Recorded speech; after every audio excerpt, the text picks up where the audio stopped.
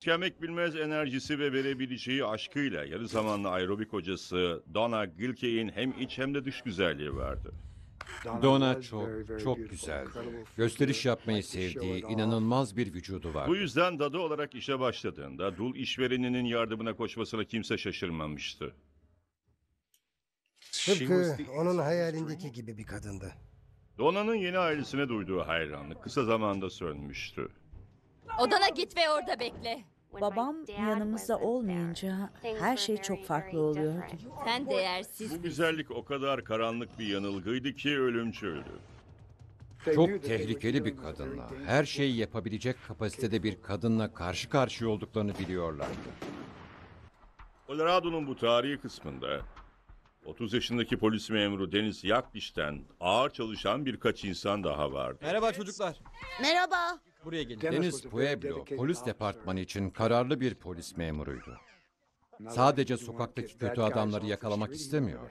İyileşebilecek olduklarını düşündüklerine yardım da etmek istiyordu. Deniz'in bir numaralı önceliği ailesiydi.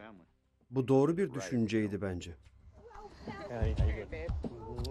Deniz ve eşi Barbara ailelerinin çiftliğinde bir önceki evliliklerinden olan üç çocuğa ve küçük kızlarına basit ve tam bir hayat sunmak için ellerinden geleni yapıyorlardı.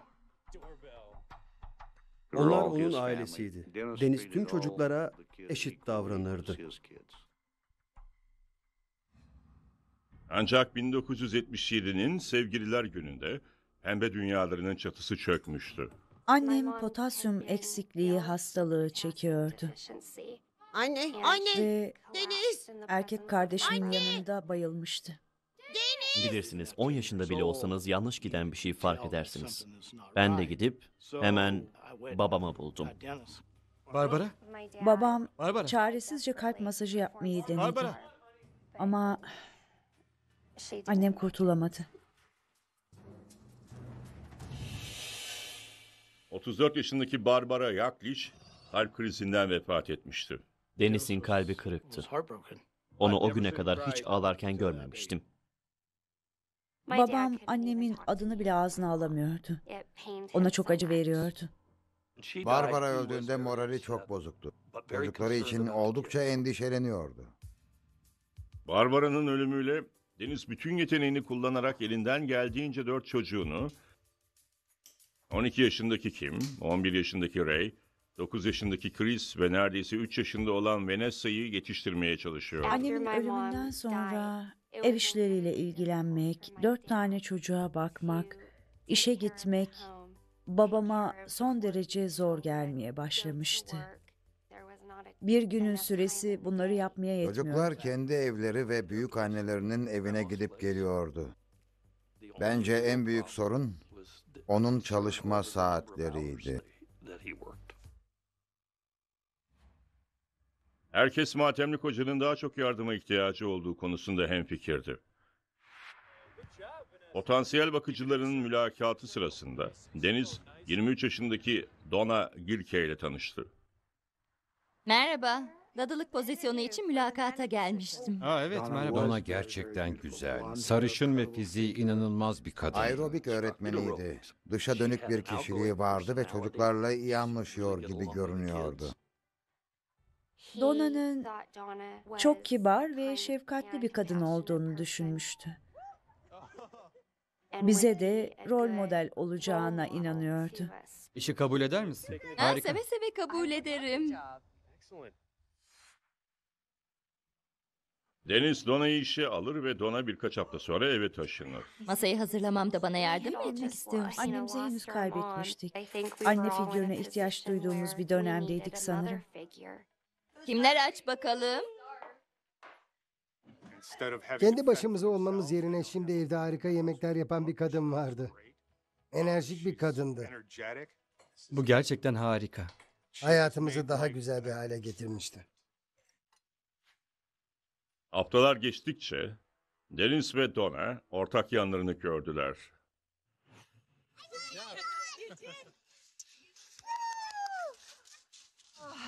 Bu çok güzel. Bu gerçekten mükemmel. Hadi Evet. gidelim. Donna ailenin hayatına Barbara'nın ölümünden sonra yok olmuş neşeyi getirmişti. Deniz'in ona duygusal olarak neden bağlandığını anlamak aslında kolay. Avondale, Colorado, Ekim 1978. Dona'nın taşınmasından 6 ay sonra Deniz ona evlenme teklif ederek herkesi şaşırtmıştı. Müstakbel eşi Deniz'in kızlarını da düğün planlarına ekleyince Deniz'in kalbine dokunmuştu. Çok duygusal bir andı. Donna kardeşimle bana düğün kıyafetleri dikti. Gerçekten çok heyecanlandığımı ve hatta elbiseyi dikerken ona yardım ettiğimi bile hatırlıyorum. Düğün günü herkes çok mutluydu. Donna ile babam yemek odamızda evlendiler.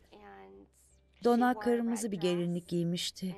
Babamsa takım elbise giyiyordu. Küçük, samimi bir davet olmuştu.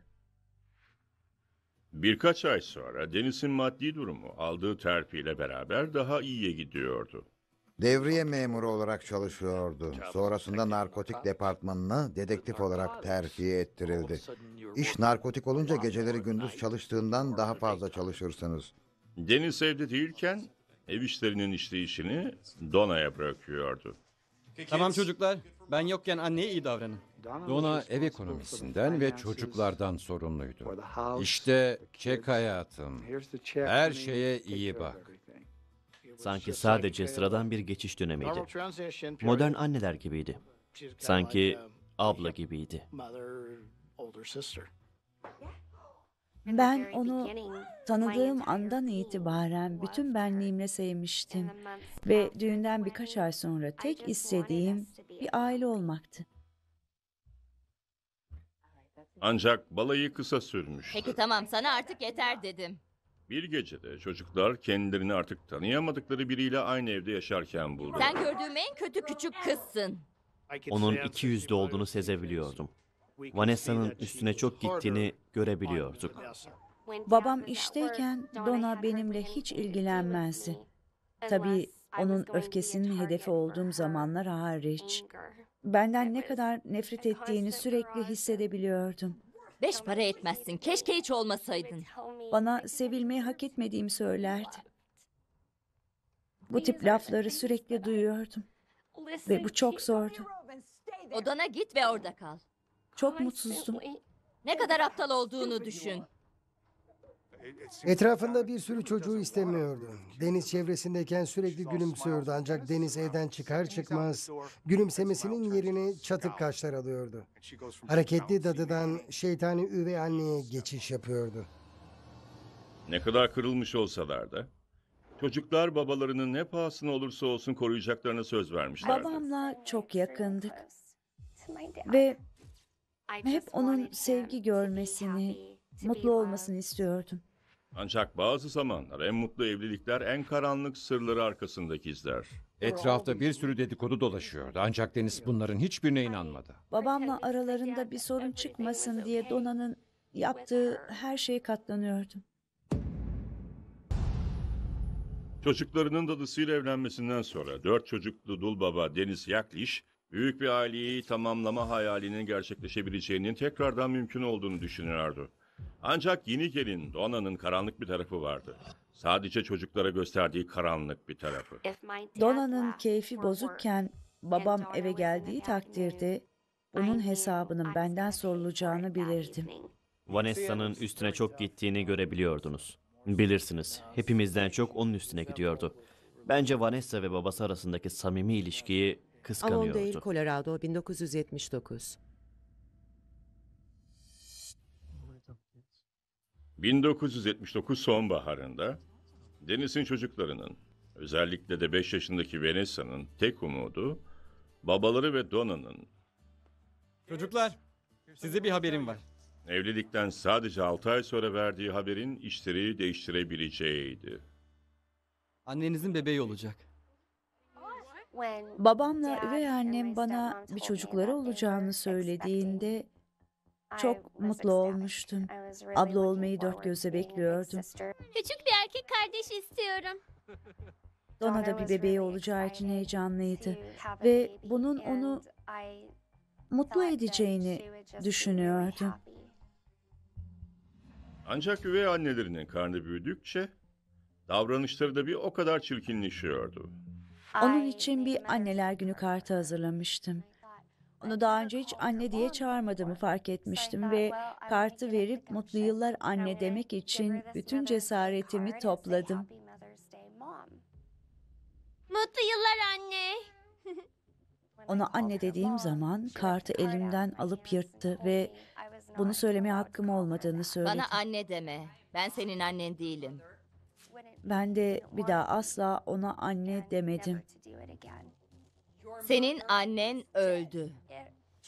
Bu bende bir travma yaratmıştı. Babasının küçük kızı ağlayacak mı? Çocuklar Dona'nın patlayıcı öfkesiyle beraber yaşamaya alışmışlardı. Ancak işlerin ne kadar kötüleşebileceğini bilmiyorlardı. Bana bağırıyordu. Ben ağlıyordum. Sonra elinin içiyle alnıma vurdu. ve kafam duvara çarptı. Geri geldiğimde parmağı gözümün önündeydi ve bana annen kendini öldürdü çünkü sen kötü bir çocuksun dedi. Çok zalimdi. O senin yüzünden öldü. Dona'ya bunları söyleten sadece öfke değil, zalimlikti. Vanessa'yı incitmek istiyordu ve onun Dona'nın tehlikeli olabileceğine dair ilk düşüncesi böyle oluşmuştu. Sakın hiç kimseye bir şey söyleme. Donna eğer babasına herhangi bir şey söylerse bunu ödeyeceğini söyleyip onu tehdit eder. 5 yaşındaki çocuğun yaşadığı psikolojik taciz o kadar büyüktü ki söylediklerini yapmaktan başka hiçbir çaresi yoktu. Birinin bana annemin nasıl öldüğünü söylemesi hiç önemli değil. Ama annemin benim yüzümden öldüğü düşüncesini beynimden çıkaramıyordum. Donna 1979 Aralık ayında dünyalar güzeli Alex'i doğurduğunda çocuklar üvey annelerinin kalbinin sevgiyle dolacağını düşünmüşlerdi. Onun için aklıma gelen, elimden gelen her şeyi yapmayı denedim. Ama Çık o dışarı. hiç seni seviyorum dememe, ona sarılmama izin vermedi. Hep lakap takıp tehditler savuruyordu. Donna hep zalimdi. Avondale, Colorado, 1981. Alex yürümeye henüz başladığında Donna eski haline dönmüştü. Çocukların bakımı dışında da bir şeyle uğraşmak istiyordu. Deniz'e benim için bir spor salonu ve aerobik salonu kurmalıyız dedi. Spor salonu istiyordu. Çünkü aerobik öğretmenliğine devam etmek istiyordu. Bu yüzden Deniz fazladan mesai yapmaya başladı. Deniz Dona'yı mutlu edebilmek için her şeyi yapmaya hazırdı. Deniz'in arkadaşları ne kadar mutlu eş, mutlu hayat felsefesini paylaşsalar da Donna'nın onun büyük kalbinden yararlandığı çok açıktı. Dona harcadıkça harcıyordu. Çok müsrif bir kadındı. Görüntüsünü korumak için ihtiyacı olan her şeyi satın alırdı. Maddi olarak karşılayamasalar bile. Lüksü çok seviyordu.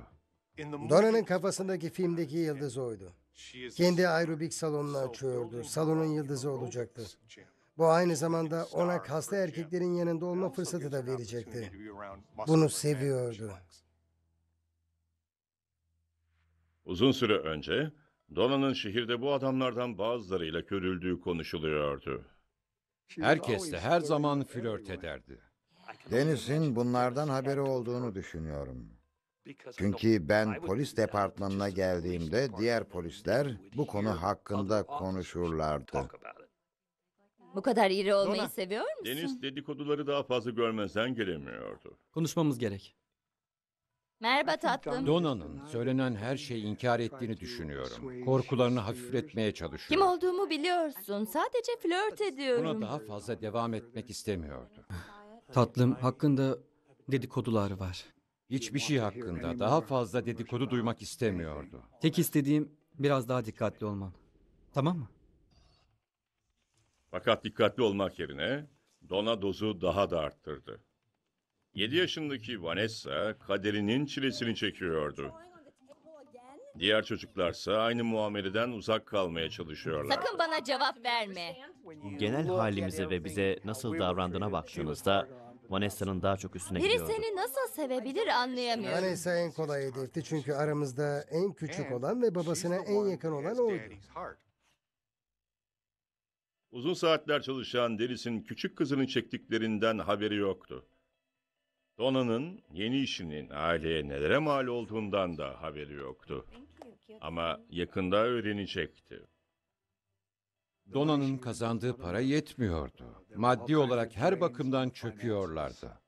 Donna evin bütçesinden sorumluydu ve faturaları o öderdi. Ve faturalar bir süredir ödenmiyormuş. Dona faturaları denizden saklardı. Hatta faturaları saklamak için postanede bir posta kutusu olduğunu bile düşünüyorum. Maliyecilerin aradığını hatırlıyorum. Telefonu yerine koyamazdık. Böylece telefon çalmasını engellerdi babam öğrenmesin diye. Ama öyle bir dereceye gelmişti ki bir şey söylememem için bana söylemesi gereken bir şey bile yoktu. Korkutucu bir bakış yetiyordu. Yaklişlerin evinde her şey çığırından çıkıyordu. Ancak bu kadının ne kadar kontrolden çıkabileceğini kimse tahmin etmiyordu. Her günüm korku içinde geçiyordu. Çünkü bir sonraki hareketin ne olacağını hiç bilemiyordum. Donna artık güvenilmez biri olmuştu. Çocukları ondan sonsuza kadar uzaklaştırmak istedi. Evliliklerinin dördüncü yılında Deniz ve Donna Yakliş'in evliliklerindeki tansiyon ve borç hızla artıyordu.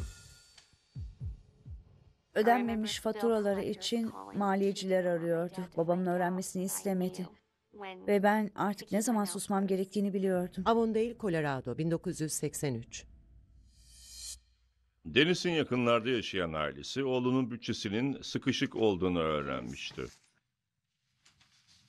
Nedir o? Hesaplar olması gerekenden düşük görünüyor. Oğullarının hesabındaki paranın büyük bir kısmının eksik olduğunu gördüklerinde bu işte Dona'nın parmağı olabileceğinden hemen şüphelendiler. Dennis'in ailesi Dona'yı çok sevmişti. Bir noktada Dona'ya güvendiler ve oğullarına maddi olarak yardım etme gereksinimi hissettiler. Dona'nın parayı idare edebildiğini düşünüyorlardı. Bize söylemeleri gerekiyor. Kendisine bir sürü çek yazdığı ve kendisine aldığı şeyleri onun hesabından ödediği ortaya çıkmıştı. Bütün aileyi bir güzel soymuştu. 11 ayda tam 11 bin dolar harcaması vardı. Buna inanmıyorlardı. Dona'nın onlara ihanet etmiş olabileceğine inanmıyorlardı. Doğal olarak verdikleri ilk tepki ne yapacaklarını düşünmek oldu. Yakliş ailesi bir şey yapmaları gerektiğini biliyordu. Merhaba. Sessizce gelinleriyle yüzleşti. Donna biraz konuşabilir miyiz? Ah, bu durum ikisi için de çok kötü bir durumdu. Hesap dökümlerinde bazı sorunlar var. Çünkü Dona'yı suçlamak istemiyorlardı. Dona suçlamaları reddetti. Bana bakmayın bunu ben yapmadım dedi. Aynı zamanda Deniz'e sevdiği ve güvendiği karısını ona karşı ihanet etmiş ve güvenlerini kırmış biri olarak görmek istemiyorlardı. Yakalandığını anlayan Donna hemen bir plan yaptı. Deniz, anne ve babasının onları hırsızlık ve bütçe yönetememeyle suçladıklarını anlatan bir mektup yazdı. Denver'a kız kardeşine gittiğini bebeği de götürdüğünü söyledi.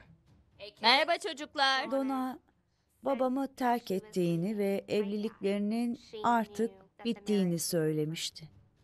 Açıkçası ben mutlu olmuştum. Tamam gitsin diye düşünmüştüm. Evi terk ettiği için mutluydum. Ama küçük erkek kardeşimi almasını istemiyordum. Gecenin devamında Tatlım, eve geldim. Deniz eve geldiğinde Dona'nın ona bıraktığı mektubu buldu. Babamın gözleri yaşlıydı. Tabii onu terk ettiğini zaten biliyordum ama sebebini bilmiyordum. Deniz Dona'yı mutlu etmek için uzun saatler çalışıyordu. Ancak o hiç mutlu olmuyordu. Terk edildiğine göre ilk yapması gereken şey aileyi yeniden bir araya getirip mutluluğu sağlamaktı. Ailesinin doğruyu söylemediğini bilmesine rağmen iki küçük çocuğunu alıp Dona'yı geri kazanmak için Denver'a iki buçuk saatlik bir zorlu araba yolculuğu yaptı. Kızgındı ancak ailenin bölünmesini istemiyordu. Çocuklarının bir anne kaybetmesini daha göze alamazdı. Her şeyin yolunda olduğunu, eve gelmesini söyledi. Donna kabul etti ve bir işe girip Dennis'in ailesine paralarını geri ödeyeceğine söz verdi. Donna büyük annemle büyük babamdan çaldığı paraları ödeyebilmek için bir dükkanda çalışmaya başladı. Babam büyük babama Dona'nın ona ödeme yapıp yapmadığını sordu bir gün. Ve büyük babam da evet ödüyor dedi. Çünkü Donna ile babamın evliliğinin bitişine neden olan kişi olmak istemiyordu. Ailenin maddi sıkıntıları birikmeye devam ettikçe Donna Dennis'i suçluyordu. Çocukları babalarını düşündükleri gibi bir adam olmadıklarını ikna etmeye çalışıyordu. Annem öldüğünde benden 3 yaş büyük olan kardeşime bir miktar para bırakmıştı. Ve abim 18 yaşına geldiğinde bankaya o parayı çekmeye gitti. Ancak paraya el konulduğunu öğrendi.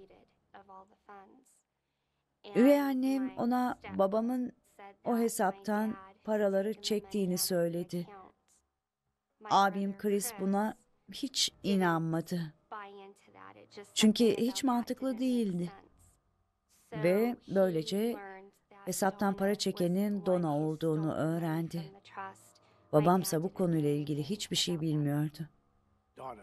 Donna bilirsiniz. Beni manipüle etmeye ve kafama girip paraları kendi rızamla verdiğime dair belgeler imzalatmaya çalışıyordu. Kağıtları imzalamayacağımı sert bir şekilde söylediğimde suratıma vurdu ve gözlüğümü kırdı. Avondale, Colorado 1985. Kemek bin- 1985 yazında iki çocukları Ray ve Kim evden taşındı. Vanessa, Chris ve küçük Alex'i evde bıraktılar. Bu sırada Deniz çökmekte olan evliliğini kurtarmak için elinden ne geliyorsa yapıyor. 1985'in Ağustos ayında ailece eyalet dışına bir seyahate çıkmıştık. Küçük kardeşim, ben, babam ve Donna. Bu tatilin amacının evliliği kurtarmak için bir umut olup olmadığını görmek olduğunu öğrenmiştim. Yeniden deniyorlardı. Seyahat çok eğlenceliydi. Babam sürekli yanımdaydı. Donna da iyi davranıyordu. Ve içimden bunun normal bir aile olduğunu, alıştığımın dışında bir şey olduğunu düşünüyordum. Ancak tatil bittiğinde mutlu Donna yine sapkın Donna'ya dönüştü.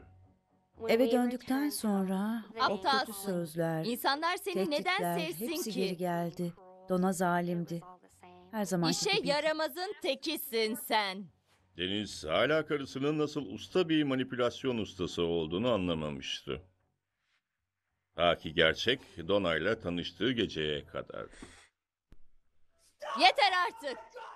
Bana küfrediyordu, bağırıyordu.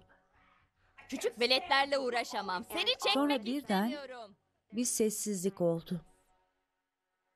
Kafamı kaldırdığımda babamın kapıdan bizi sessizce izlediğini gördüm.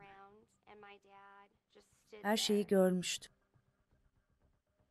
Ona çocuklarla bir daha asla böyle konuşmayacaksın dedi.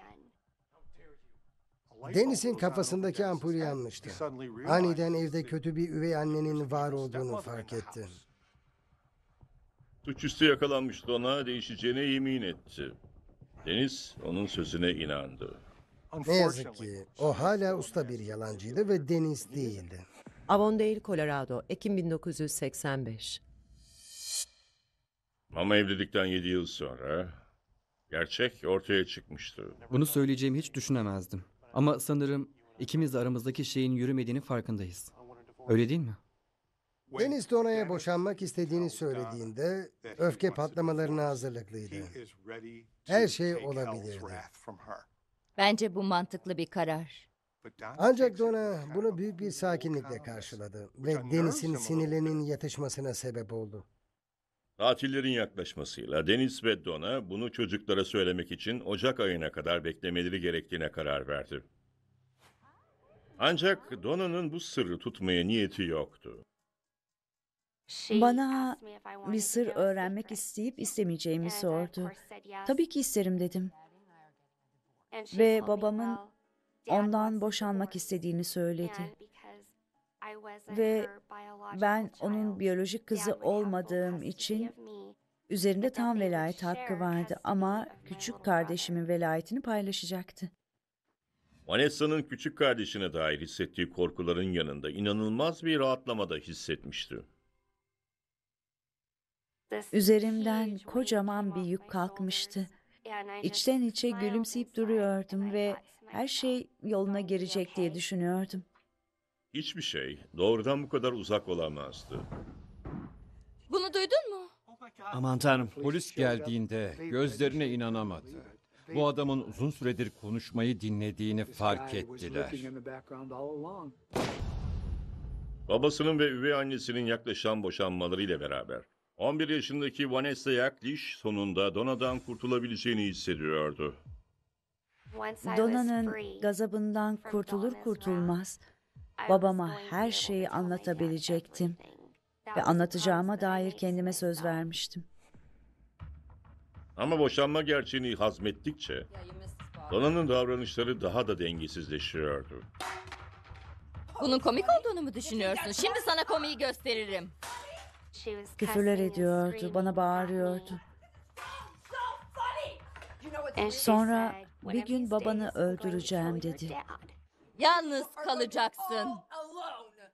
Ve sonrasında seni koruyabilecek kimse kalmayacak. İşkenceyle geçen 7 yıl boyunca Vanessa daha önce hiç bu kadar korkmamıştı. Ondan korkuyordum. Ondan her an korkuyordum çünkü bir sonra ne söyleyeceğini, ne yapacağını hiç bilmiyordum. Avondale, Colorado, 12 Aralık 1985. Noel'den bir gece önce Vanessa'nın üvey annesi küçük kıza alışılmadık davranıyordu. Bu gece güzel bir gece olacak diye düşündüğümü hatırlıyorum.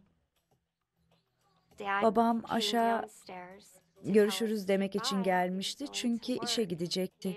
Sonra bana sarıldı, iyi geceler öpücüğü verdi. Kardeşimle beni çok sevdiğini söyledi.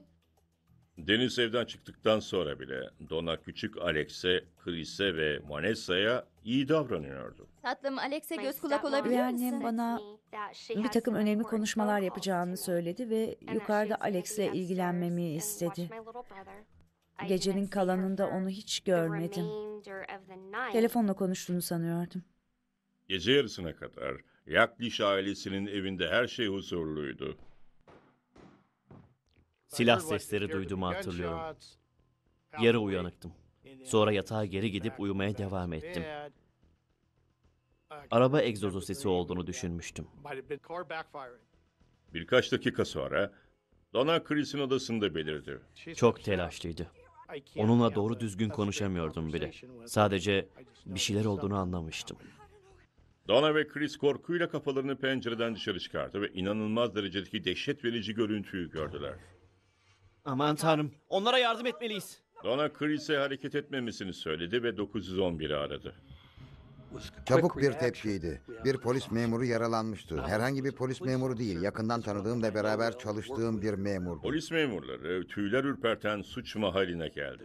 Tüm bedeninde altı kurşun, kafasında ise bir kurşun vardı. Büyük bir şoktu. Bilirsiniz, üzüntü ve aptallaştıran bir etkisi vardı. Sadece böyle tarif edebilirim. Bazı cevaplar almak için memurlar Donna'ya döndü. Hiçbir duygu göstermedi. Bir şeyler hissettiğini veya naralar attığını düşünebilirsiniz. Ancak bunların hiçbiri olmadı. Hiçbir duygu yoktu. Donna silah sesleri olduğunu düşündüğü sesler duyduğunu söyledi. Sonrasında kafasını dışarı çıkardığını, iki kişinin koşarak uzaklaştığını söyledi. Dedektifler Donna'nın hikayesini doğrulayan iki farklı ayak izi buldu. Son sorgusunda Donna bunun Deniz'in üzerinde çalıştığı ve yakında tanıklık yapacağı narkotik davası ile ilgili olabileceğini söyledi. Davanın yolda olduğunu biliyorduk. Dedektifler gecenin kalan kısmını suç mahallini arayarak geçirdi. Vanessa ve küçük kardeşi ise sessizce uyuyorlardı. 13 Aralık sabah saat 8. Donna came into my bedroom. Donna Çabuk ol. yatak odama geldi ve başucumda durdu. Hadi çabuk. I know, Dışarıda bir sürü insan olduğunu fark ettim. but Ama gözlerim abime odaklanmıştı. I Ona ran doğru koşup hemen sarıldım. and I Ve gözlerinin kızardığını fark ettim. Kız kardeşimin konuşmasını Sence ona ben mi duyuyordum. söylemeliyim yoksa sen mi?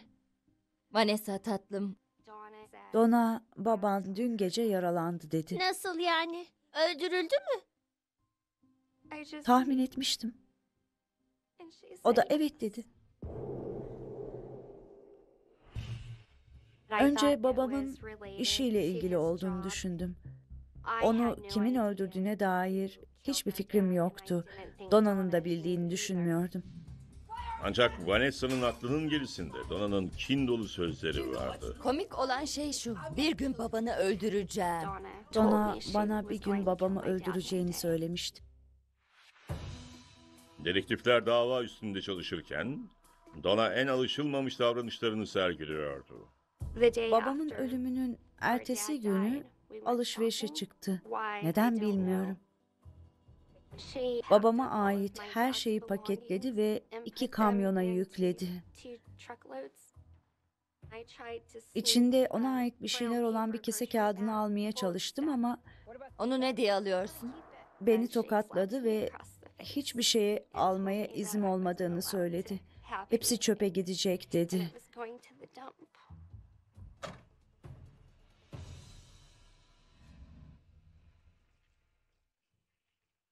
...14 Aralık 1985'te... Deniz resmi tören eşliğinde sonsuz uykusuna uğurlandı.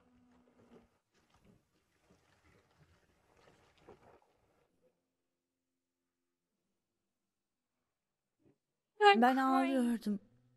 Tek kelimeyle bitmiştim. Daha yeni babamı kaybetmiştim. Bana bak. Beni utandırıyorsun. Bacağıma vurdu. Çenemi said, "Shut kapatmamı, ağlamayı kesmemi söyledi. Babamın cenazesinde bile herkesin içinde bana vurmuştu. Vanessa'nın halalarından biri gelip ne yapıyorsun diye sormuştu. Ne yaptığını sanıyorsun sen? Ona ağlamaması gerektiğini söyledim ve beni duymazdan geldi dedi. Böyle bir davranış saçma ve herkesin bunu görmesi korkunç. Anlatmak istediğim ilginin merkezinde hep o vardı ve bu psikolojik bir işkenceydi. Deniz'in cenazesinden sonra Donna'nın davranışları iyice garipleşti. Merhaba ben Dona Yakliç. Sigorta poliçem için aramıştım. Dennis'in ölümünden günler sonra Donna sadece sigortadan parayı çekmemişti, aynı zamanda belediyeden para da talep ediyordu. Sadece o kadar mı? Bir sigorta poliçesi 300 bin dolardı ve belediye 25 bin dolar ekliyordu. Onun öldürülmesinden hiç etkilenmemişti. Ve bu yüzden insanlar hemen bir dakika gerçekten ne oldu diye düşünmeye başladılar. Memurlar Dona'ya sorgulama için karakola gelmesi gerektiğini söyledi. Ve Donna kabul etti. Memurlar avukatını ne zaman getireceğini bilmiyordu. Onlara yardımcı olacak hiçbir bilgi vermiyordu ve yalan makinesine girip girmeyeceği sorulduğunda bunu reddetti. İnsanlar avukatıyla beraber sorgulamaya gitmesini ve polisle işbirliği yapmayı reddetmesini garip bulmaya başlamıştı. İki ay sonra dedektifler davada bir kırılma noktası yaratacak bir şey buldu. Polis bir lise öğrencisi kızdan erkek arkadaşının Dennis'in katili olmakla övündüğüne dair bir ihbar aldı. Kız erkek arkadaşının ve erkek arkadaşının abisinin cinayetten sorumlu olduğunu söyledi. İsimlerini Charles Greenwell ve abisi Eddie olarak söyledi. 16 yaşındaki Charles Grimwell ve 25 yaşındaki abisi Eddie, Yaklişlerin evinden hemen aşağıda Sizinle yaşıyorlardı. iletişimde kalacağız. I knew Eddie Greenwell'i biliyordum. Charles'ı tanımıyordum. İçinde büyük annemle büyük babamın tarlalarının da olduğu birkaç tarlada babamla beraber çalışmışlardı. Polis kardeşleri tanıyordu. Ancak kardeşlerin ikisi de daha önce hiçbir suça ortak olmamışlardı. Yine de Charlie'nin kız arkadaşının verdiği ifade, Greenwell'lerin evinin aranması için yeterliydi.